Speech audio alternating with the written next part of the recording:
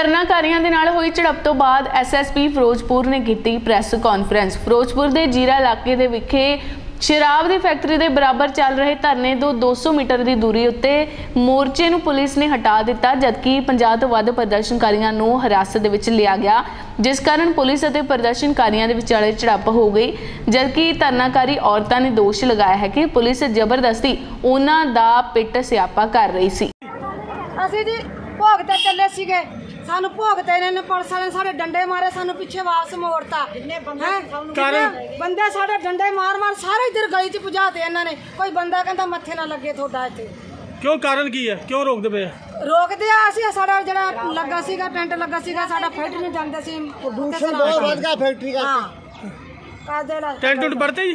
ਹਾਂ ਪੜਦੇ ਉਹਨੇ ਲਾ ਲੱਦੇ ਖੜੇ ਆ। ਘੱਟ ਹੋ ਗਏ ਆਵੇ। ਬੰਦੀਆਂ 'ਚ ਬੰਦ ਕਰ ਲਏ ਜਾਂਦੇ ਭਾ ਕੇ ਬੰਦ ਕਰੀ ਜਾਂਦੇ ਕਿੱਥੇ ਗਾਇਬ ਕਰੀ ਜਾਂਦੇ ਪੁਲਿਸ ਵਾਲੇ ਬੰਦਿਆਂ ਨੂੰ ਕੀ ਸਾਡੇ ਕਹਿੰਦੇ ਆ? ਕਹਿਣਾ ਕਿ ਉਹ ਦੋਵਾਂ ਤੇ ਸੜਕਾਂ ਤੇ ਨਾ ਦਿਸੋ ਸਾਨੂੰ। ਕਿਉਂਕਿ ਜਿਹੜੇ ਵਿੱਚ ਬੋਲਾਂਗੇ ਜੇ ਬੋਲਾਂਗੇ ਤਾਂ ਫਿਰ ਪਾਉਂਗੇ ਤੁਸੀਂ ਗਾਂ ਦੀ ਗਾਂ ਅੰਦਰ ਹੀ ਵੜ ਜਾਓ ਨਹੀਂ ਆਦੇ 144 ਲੱਗ ਜੂ ਰੋਡ ਤੇ ਜੇ ਸੜਕਾਂ ਤੇ ਦਿਸੋਗੇ ਤਾਂ। ਦੇਖ ਹੀ ਲਿਆ ਜਿਹੜਾ ਧਰਨਾ ਹੈ ਜਿੱਥੇ ਮਹਾਰਾਜ ਦਾ ਪ੍ਰਕਾਸ਼ ਹੋਇਆ ਹੈ ਉੱਥੇ ਪਾਠ ਚੱਲ ਰਿਹਾ ਹੈ ਕੀਰਤਨ ਸ਼ੁਰੂ ਹੋਣ ਵਾਲਾ ਹੈ ਉੱਥੇ ਬਿਲਕੁਲ ਸ਼ਾਂਤੀਪੂਰਵਕ ਮਾਹੌਲ ਹੈ। ਪੁਲਿਸ ਵੀ ਸ਼ਾਂਤੀਪੂਰਵਕ ਖੜੀ ਹੈ ਤੇ ਕਿਸੇ ਵੀ ਤਰ੍ਹਾਂ ਦੀ ਉੱਥੇ ਤਣਾਅ ਨਹੀਂ ਹੈ।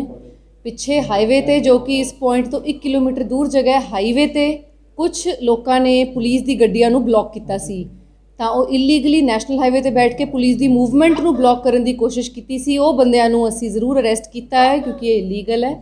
ਧਰਨੇ ਵਾਲੀ ਜਗ੍ਹਾ ਤੇ ਸਭ ਕੁਝ ਸ਼ਾਂਤੀਪੂਰਵਕ ਹੈ ਤੇ ਉਸ ਤੋਂ 1 ਕਿਲੋਮੀਟਰ ਦੇ ਦਾਇਰੇ ਸਭ ਕੁਝ ਸ਼ਾਂਤੀਪੂਰਵਕ ਚੱਲ ਰਿਹਾ ਹੈ ਤੇ ਸਿਚੁਏਸ਼ਨ ਬਿਲਕੁਲ ਅੰਡਰ ਕੰਟਰੋਲ ਹੈ।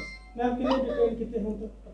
ਅਸੀਂ ਜੀ ਮੈਂ ਸਪੌਟ ਤੇ ਆ ਮੇਰੇ ਆਫੀਸਰਸ ਉੱਥੇ ਆ ਆਪਾਂ ਤੁਹਾਨੂੰ ਐਗਜ਼ੈਕਟ ਡਿਟੇਲਸ ਦੱਸ ਦਾਂਗੇ ਬਟ ਜਿਨ੍ਹਾਂ ਜਿਨ੍ਹਾਂ ਨੇ ਪੁਲਿਸ ਦੀ ਗੱਡੀਆਂ ਨੂੰ ਰੋਕਣ ਦੀ ਕੋਸ਼ਿਸ਼ ਕੀਤੀ ਸੀ ਸਿਰਫ ਉਹਨਾਂ ਨੂੰ ਡਿਟੇਨ ਕੀਤਾ ਸੀ ਸਰ ਉਹ ਇਹ ਵੀ ਗੱਲ ਕਹਿ ਰਹੇ ਨੇ ਸਾਡੇ ਜਿੱਥੇ ਧਰਨਾ ਚੁੱਕਿਆ ਗਿਆ ਐਂਟਰੀ ਤੋਂ ਉੱਥੇ। ਸੀਸੀਟੀਵੀ ਕੈਮਰਾ ਲੱਗੋ ਸੀਸੀਟੀਵੀ ਕੈਮਰਾ ਚੈੱਕ ਕਰ ਸਕਦੇ ਕਿ ਕਿੰਨਾਂ ਨੇ ਗੱਡੀਆਂ ਰੋਕੀਆਂ।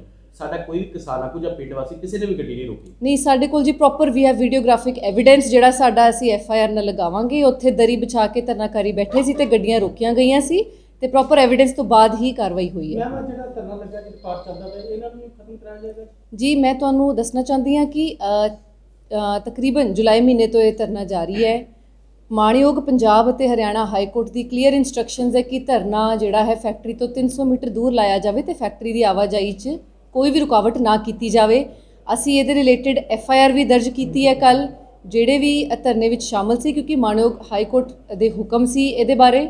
ਤੇ ਜੋ ਵੀ ਅੱਗੇ ਕਾਰਵਾਈ ਕਰਾਂਗੇ ਕਾਨੂੰਨ ਦੇ ਹਿਸਾਬ ਨਾਲ ਕਰਾਂਗੇ ਤੇ ਪੀਸਫੁਲ ਕਾਰਵਾਈ ਕਰਾਂਗੇ। ਸਰ ਕਿਸਾਨ ਆਗੂ ਵੱਲੋਂ ਵੀ ਰੋਕ ਲਗਾਏ ਗਏ ਉਹਨਾਂ ਘਰਾਂ ਘਰਾਂ ਵਿੱਚੋਂ ਵੀ ਇਹਨਾਂ ਨੂੰ ਚੁੱਕਿਆ ਜਾ ਰਿਹਾ। ਜੀ ਕੁਝ ਜਿਹੜੇ ਸਾਨੂੰ ਜਿਵੇਂ ਕਿ ਮੈਂ ਤੁਹਾਨੂੰ ਦੱਸਿਆ ਹੈ ਕਿ ਮਾਨੂਨ ਹਰਿਆਣਾ ਪੰਜਾਬ ਹਰਿਆਣਾ ਹਾਈ ਕੋਰਟ ਨੇ ਹੁਕਮ ਦਿੱਤੇ ਸੀ ਕਿ ਇਹ ਜਿਹੜੇ ਧਰਨਾਕਾਰੀ ਹੈ ਇਲੀਗਲ ਤਰੀਕੇ ਨਾਲ ਬੈਠੇ ਹੈ ਜੋ ਕਿ ਕਲੀਅਰ ਹੈ ਉਸ ਤੇ ਵਾਇਲੇਸ਼ਨ ਤੇ ਐਫ ਆਈ ਆਰ ਵੀ ਹੋਈ ਹੈ ਜਿਹੜੀ ਜਿਹੜੀ ਧਾਰਾ 'ਚ ਐਫ ਆਈ ਆਰ ਹੋਈ ਹੈ ਉਹ ਦਰਜ ਕੀਤੀ ਹੈ ਤੇ ਉਹ ਪਬਲਿਕ 'ਚ ਵੀ ਹੈ ਹੁਣ।